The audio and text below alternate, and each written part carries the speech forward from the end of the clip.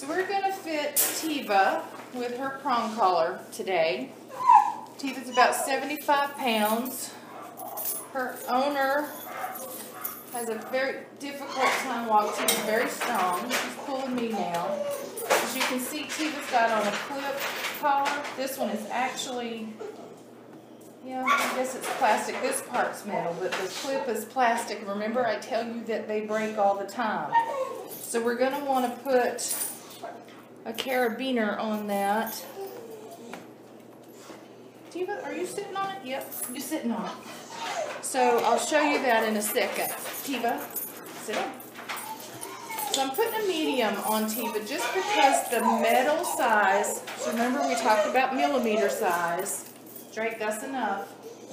Uh, the smaller metal, I think Tiva could bend, given her strength. So we're putting on a Herm Sprenger collar.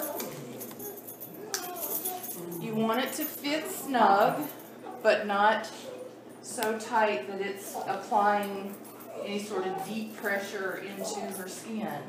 So I'm doing the first wrap around. You can see that's going to be way too big. So I'm taking out a link.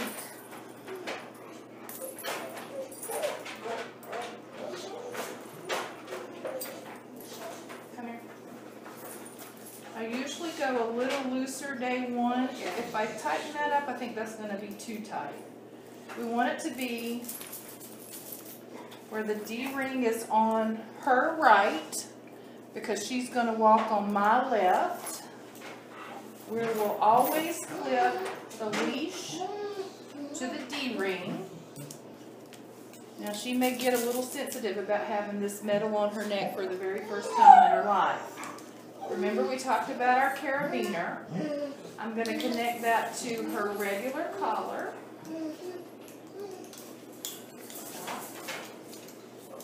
And to this, stop, good. And to this D-ring. So that if, for some reason, the prong collar came loose, she would still be connected.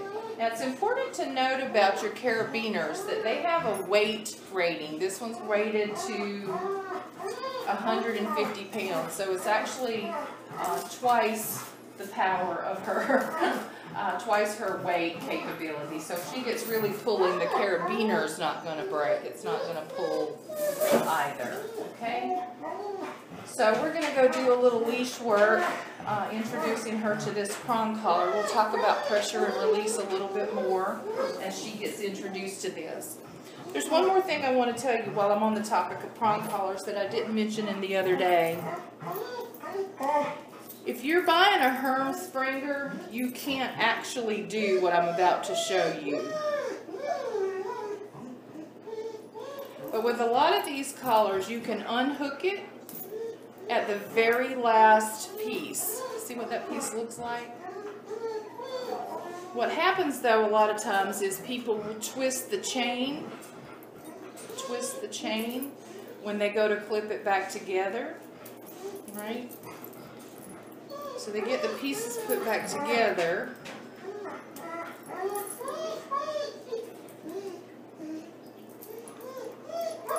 Chain will have a twist in it. I actually untwisted that one um, when I did it. So they unhook at the end. That's the easiest place to unhook. Then they twist that piece when they're putting it back together. And the chain, when you put it on the dog, you see that? It doesn't look like it now, but the D-ring um, is actually on the inside. And when you pull that up, it actually loops around that piece. And when it's on the dog, you will not get this free movement of the chain. And this will not be nearly as effective. It's likely to be tighter than normal. And you won't get a good correction on that. So just be aware of that if you're using any other type of collar than the Herm Sprenger to make sure that chain uh, does not get twisted when you clip it back together. The easiest way to prevent that is to snap it apart somewhere other than the end pieces, the pieces closest to the rings. Okay? So just a little note on that. All right, we're off the train. Catch up later.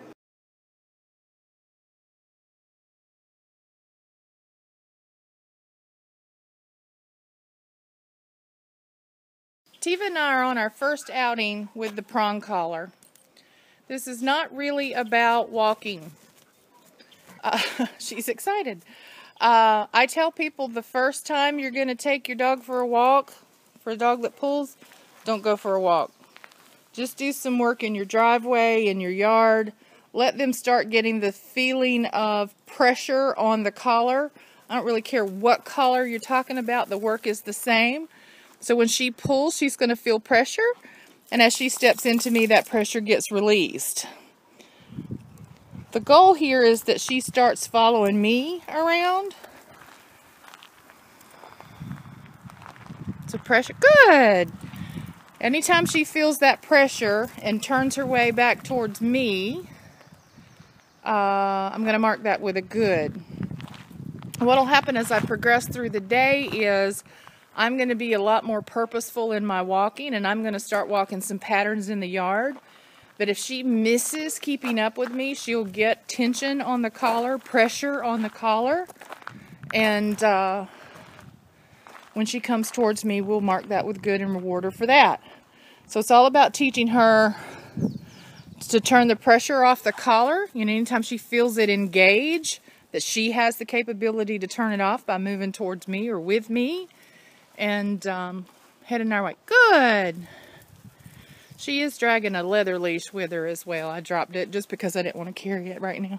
Come on. So lots of pressure right there. Good.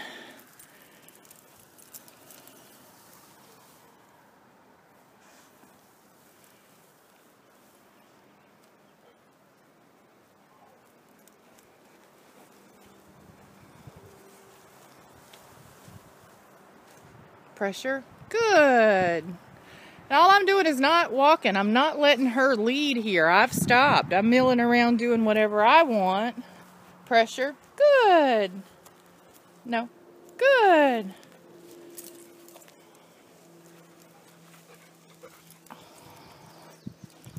Good girl. Look at you. Come on, let's go.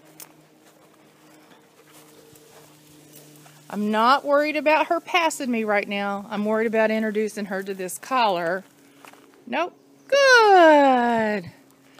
letting her realize the leash is only so long. When she gets too far, there's pressure engagement. She stays with me or responds to that pressure by moving towards me. It's a better decision. I'm stopping.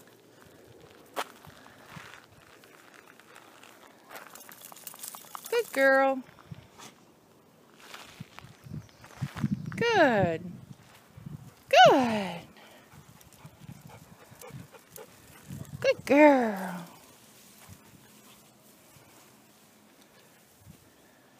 Pressure. Good.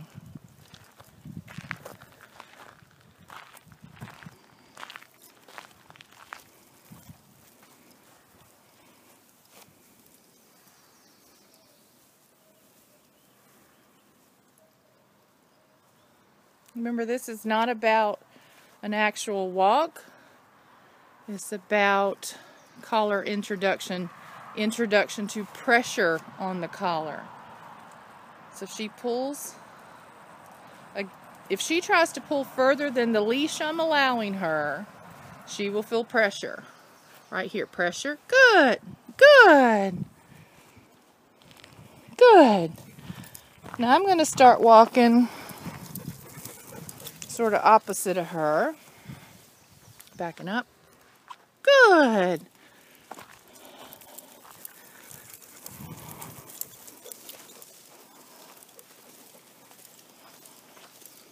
Let her go. Pressure. Good.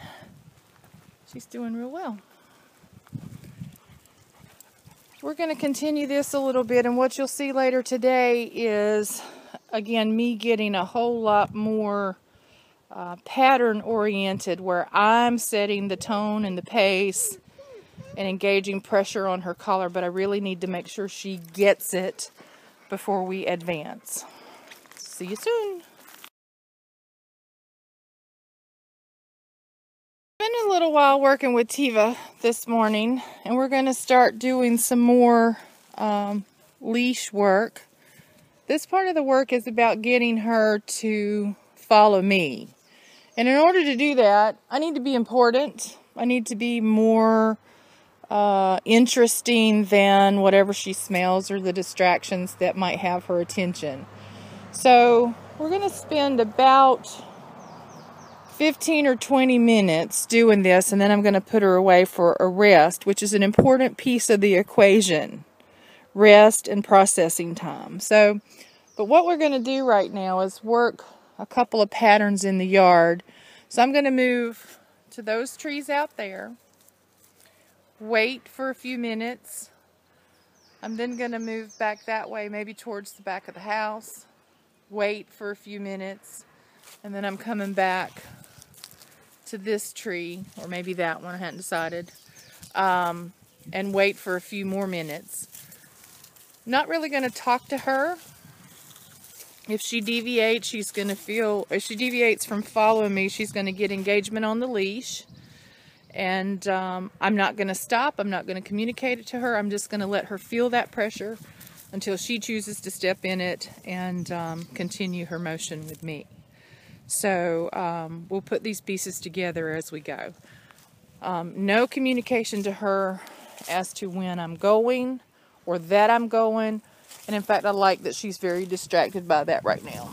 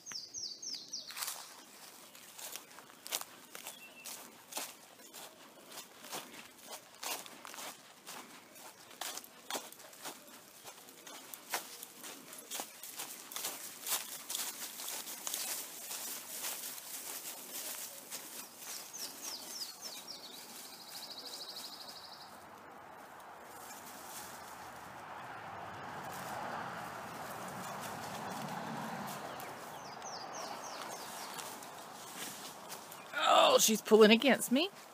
I don't care. I'm going to keep moving.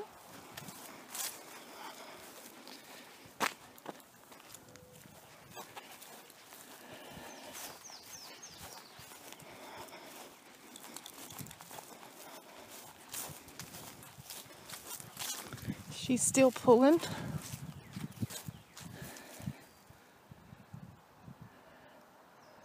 Because there's Huey.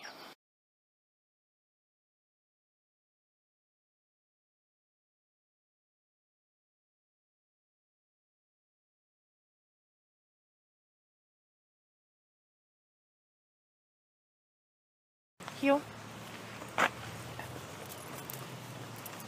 No, heel.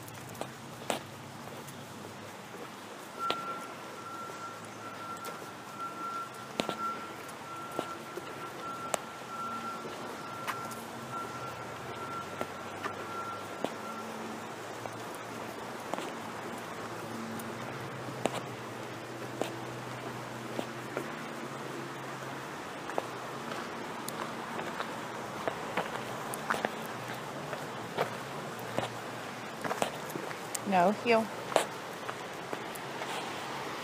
Good. Good girl. Nope, heel.